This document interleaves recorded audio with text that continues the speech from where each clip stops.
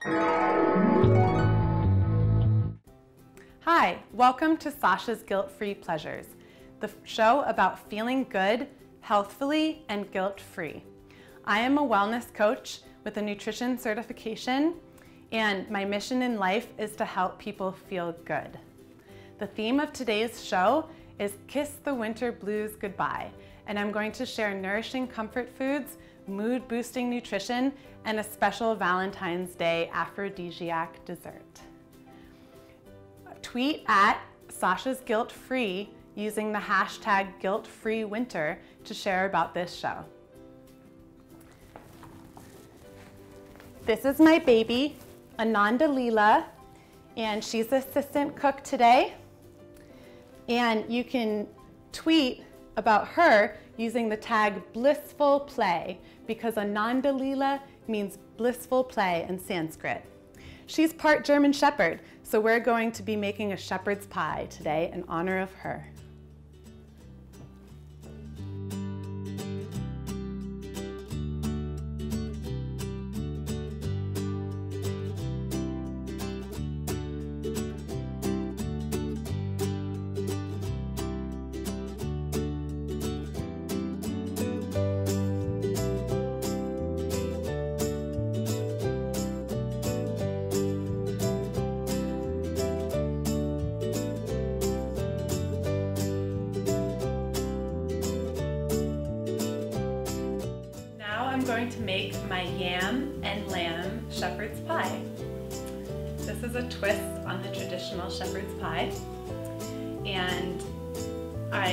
Starting by cooking the lamb in the skillet.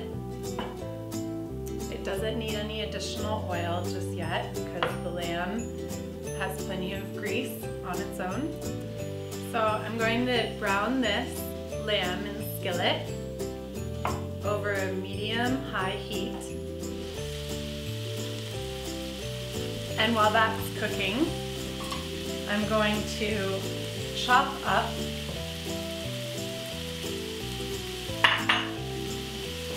first the shallot. So I'm going to dice that up.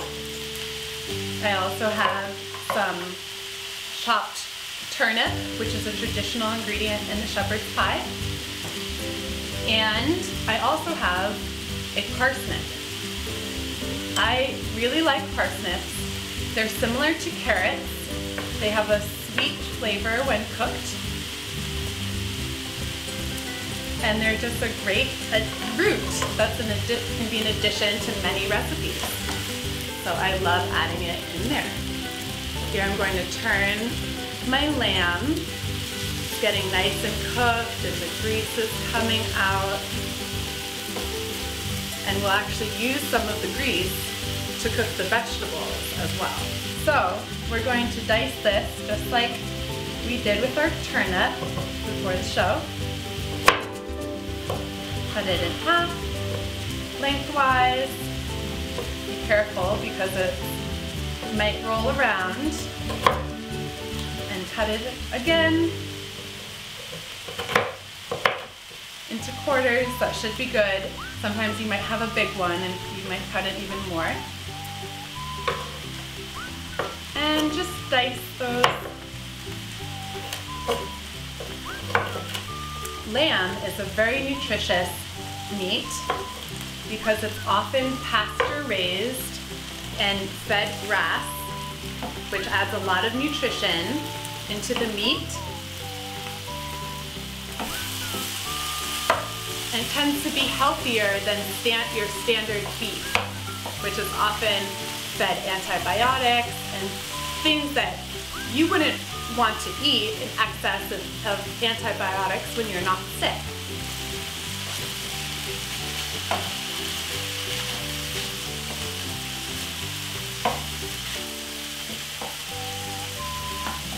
So that's, that's great. And we actually just want to brown it on the outside and not com completely overcook it because we're going to bake our shepherd's pie later. So we don't want to have overcooked meat. That's the number one way to cook your meat healthy is don't, don't do it well done if you can handle it. So we'll get our bowl back. And now that this is cooked to where we want it, it's a little pink. Put it back in the bowl don't overcook it. And we'll also add a little bit more oil. And this is where we add the root vegetables. They take a little bit longer to cook and we're going to saute them, browning them nicely.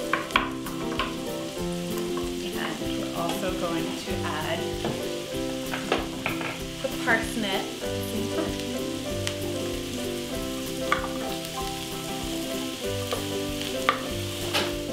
while the veggies are sauteing, we're going to mash up our pre-cooked yams. We have these beautiful orange yams that add color to this recipe, which is traditionally made with potatoes. And it is actually traditionally made with yam, or with lamb meat. Not a lot of people know that. But the shepherds in Ireland, they were shepherds of sheep. And so it's a, it's a traditional recipe made with the ingredients that they had available to them, which includes potatoes, white potatoes, lamb meat, peas, and turnip. And we're going to use some of those in today's recipe with a little bit of a twist, which I like. This is a little bit of a sweeter version and more flavorful than the traditional shepherd's pie. And it has a little bit more variety of vegetables, which is always good because that gets different nutrients into our dish. While those are finishing sauteing, I have fresh herbs, rosemary, tarragon, thyme. Now, if you don't have a home herb garden or, and you don't have access to these fresh herbs, they're not available in all supermarkets, you can certainly use the dried. Looks very yummy. So now we're going to add the shallots here. Let those cook up.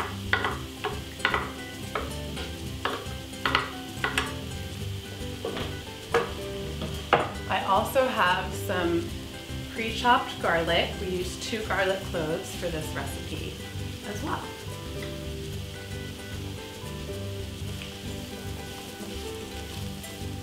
Mix that in. Mmm, I can smell those shallots already. You'll be delighted with the aroma of shallots if you've never used them before. And now I'm going to add the meat back in there. I'm going to use my trusty wooden tool to break the meat up a little bit more. So I'm also going to add my vegetable broth, homemade in my crock pot. Mm. And let that simmer. I'm going to turn the heat down a little bit lower.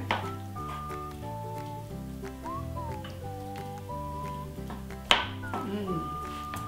This is the time that I also add my seasonings, fresh herbs.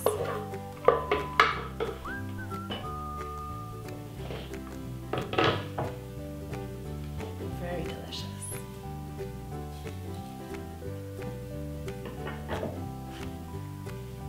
And I let all these flavors cook in there together.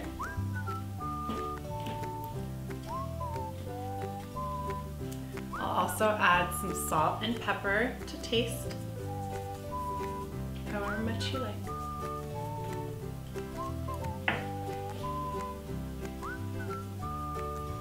Hmm. And a little bit of wheat flour. You can use any other kind of flour if you prefer gluten-free diet. Just use a couple tablespoons that thickens it all up together so you don't have a watery filling to your or brothy.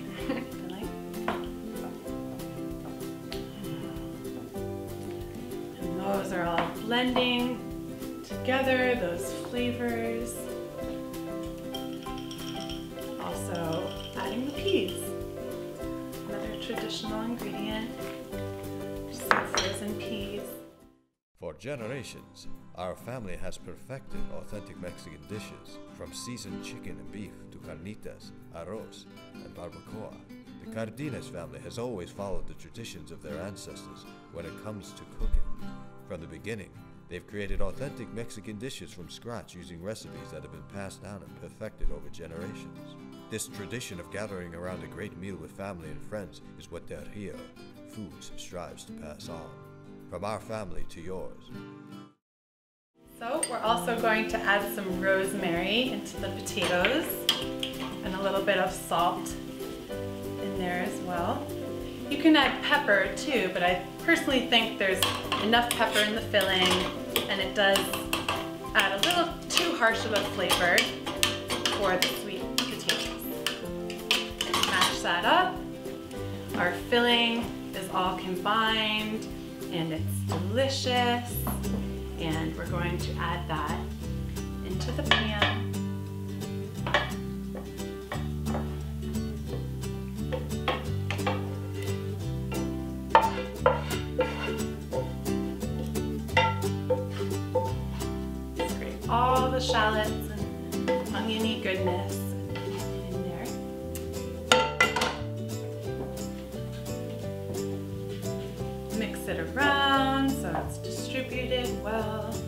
And the yams go right on top.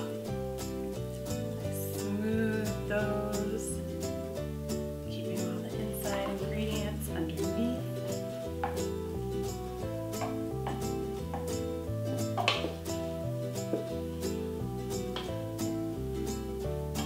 Mm. The aroma of this is delicious and it'll just get even better in the. Which you want to do until the top is browned and everything inside is warm. So then you put it in the oven at 375 for 20 to 30 minutes or until the top is golden brown. And that's how you make my yam and lamb shepherd's pie.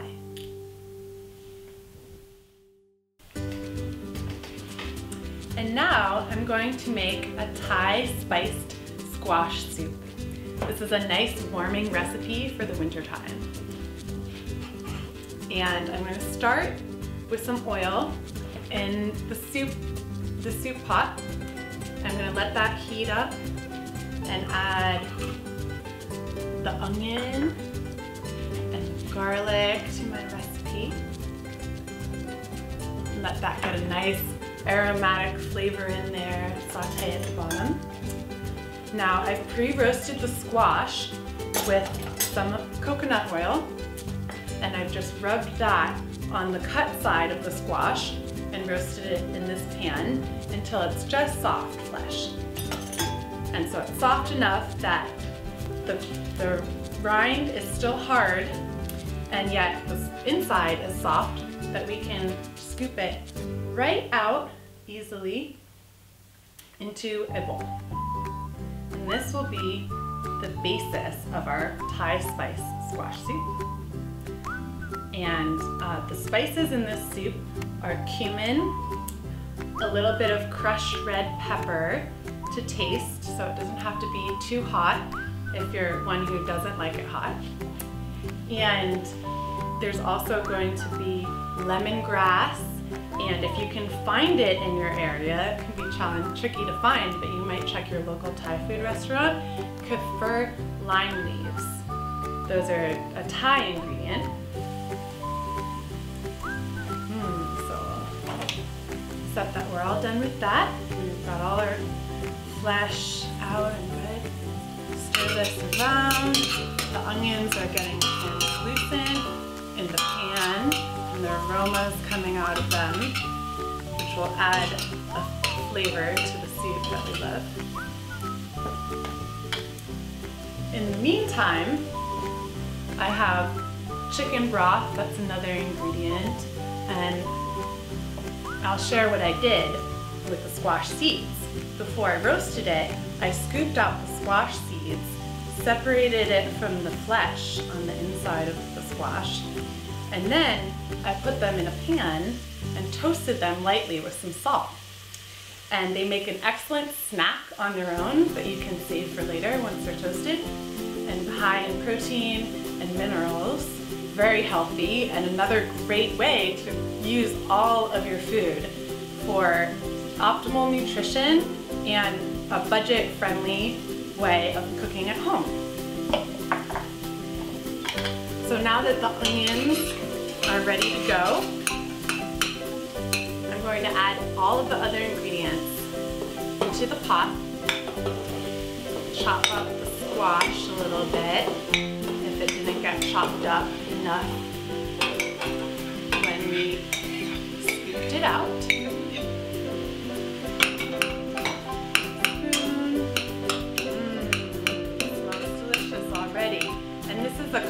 A kabocha squash. You can use pretty much any kind of squash for this recipe. I like the kabocha, the kabocha squash. It's an Asian squash, so it goes well with this recipe. And it's not super sweet. Though a butternut squash works perfectly fine. You just want to make sure your squash is about two pounds so you have enough flesh. Now we have our chicken broth we'll add in there.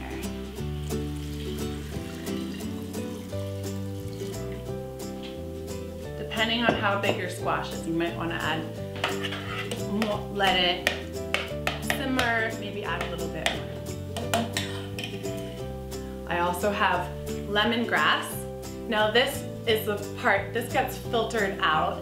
You'll want to scoop it out with a slotted spoon before the final step of blending it all together because lemongrass does not get soft as it cooks. It actually gets harder. You don't want a, a hard texture of chunk lemongrass chunks in this nice smooth soup. Okay, we also are adding lime zest because this is what you substitute with if you don't have kaffir lime leaves, which are hard to find, even here in New York City.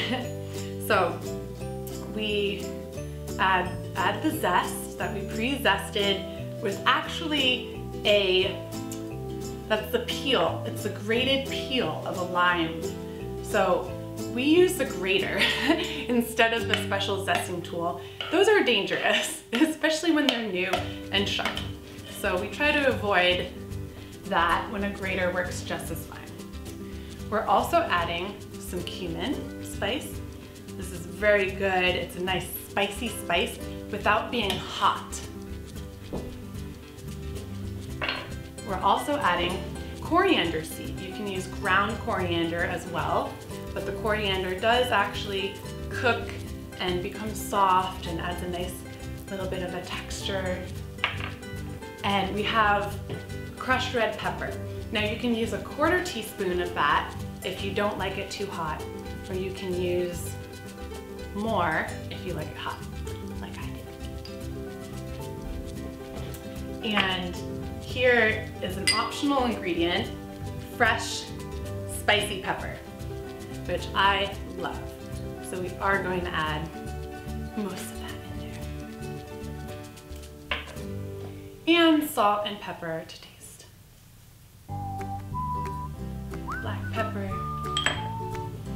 traditional, and salt. So we'll let that simmer for a few minutes and all the flavors blend together as it simmers. I've been simmering and stirring the soup occasionally for about 15 minutes, letting all the flavors blend together. The next thing is that we remove the lemongrass with a slotted spoon and pull out all those pieces that we don't want, put it back in the dish,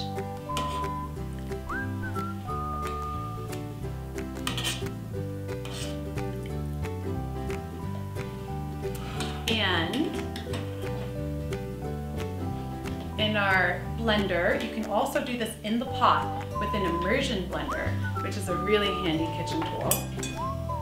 That's where we're going to place the whole soup, the whole shebang up in there while it's all simmered up. okay, scoop this out so we don't get the soup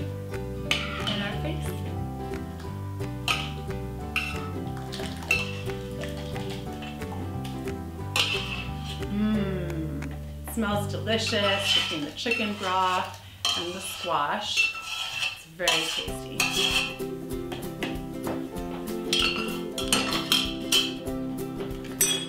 Put our blender cap on very nicely. A high-speed blender will work well, but any kind of blender is fine.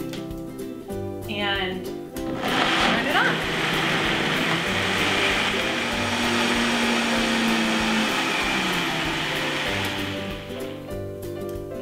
Blended it up till the texture is all nice and smooth and you can still see some of the spices in there to add a little bit of color and so that there's, they're whole or somewhat whole.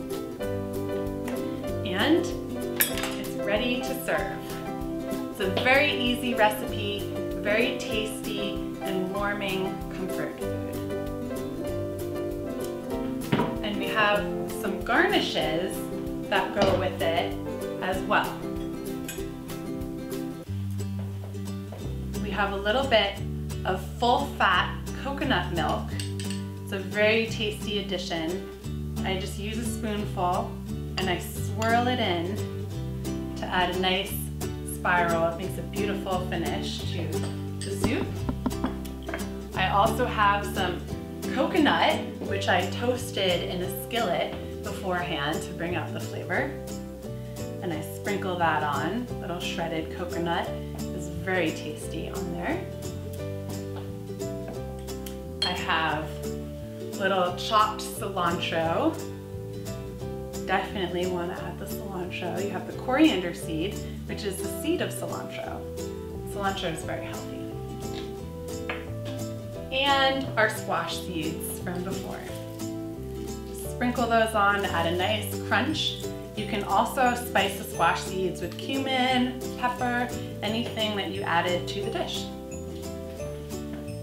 And a little bit of cilantro leaf to add a beautiful finish to the garnish. And this is my Thai spice squash soup. And now I'm going to show you how to make my raw love chocolate pie. This is truly a guilt-free pleasure and true pleasure at that. So we're going to stop, start with some finely chopped walnuts. Walnuts are very nutritious with healthy fats and oils, and they actually have cancer-fighting ingredients as well. You, or you want to use organic walnuts to get the best nutrition. We also have finely chopped dates. You can also do this in your high-speed blender so you don't have to pre-chop it. We're going to use some coconut oil to moisten it and cinnamon. I like quite a bit of cinnamon for the crust of this raw pie. That's what we're making right now. So I mix it all together. And dates are an excellent sweetener. So you don't have to add any sugar to the crust and it's very sweet. So all we're going to do is simply press the crust into this beautiful heart-shaped bowl. It's almost Valentine's Day, and this is an excellent recipe for Valentine's Day. And that's because chocolate, especially when it's in its raw cacao form, which is what the raw chocolate bean is called, it is an aphrodisiac because of the neurotransmitters that are in cacao. So it has theobromine, which is also the generic name for cacao, and that means food of the gods. And theobromine is a chemical that is a mild, non-addictive stimulant. And in, in actuality, cacao or chocolate has very little caffeine. even though it's often believed to have a high caffeine content. It also has it also has chemicals that stimulate serotonin in the brain, the brain's feel-good chemicals. Next, now that we have our crust all ready to go, we're going to mix up with our pre-mashed, pitted, and scooped out avocado flesh. This is going to be the base of the chocolate mousse pie. Very yummy and nutritious. So we're going to add coconut oil. We're going to add quite a bit of vanilla. That just adds really great flavor. Really strong vanilla flavor. We're going to add agave nectar, raw honey, or maple syrup, whichever sweetener you prefer. Make sure it is a liquid one, or add more coconut oil. And I melted the coconut oil in a double boiler. You can also use a glass bowl over a pot of boiling water. And I'm also going to add the raw cacao powder. Now raw cacao also has anandamide. And as we know, ananda is the Sanskrit word for bliss. And so it's a bliss chemical, a neurotransmitter that makes you feel good. Cacao also has a lot of great minerals. It has magnesium, which is good for de-stressing and relaxing and healing the body's muscles. Cacao also has iron and calcium, and quite a few other good nutrients. So this is going to go into the Vitamix where it will, will blend it to a chocolate mousse-like consistency. And it's, but it has, unlike traditional chocolate mousse, it is non-dairy and very healthy.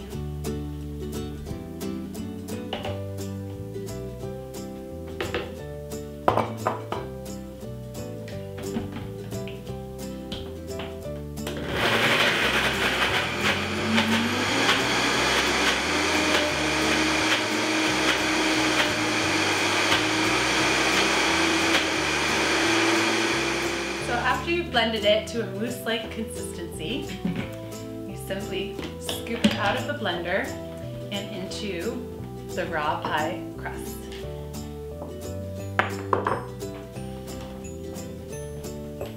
And this, you, you might be like, how is that going to taste with avocado? Well, with these, this combination of ingredients, it tastes very chocolatey and sweet and with quite a vanilla flavor as well. So it does actually taste like chocolate mousse and it's a truly guilt-free pleasure. Mmm. And you can serve it either chilled or as is at room temperature. It's ready to eat. And it's really lovely with a little garnish of some berries, some coconut sprinkled on top, and some of our chopped walnuts. And voila! That's how you make my raw love chocolate pie.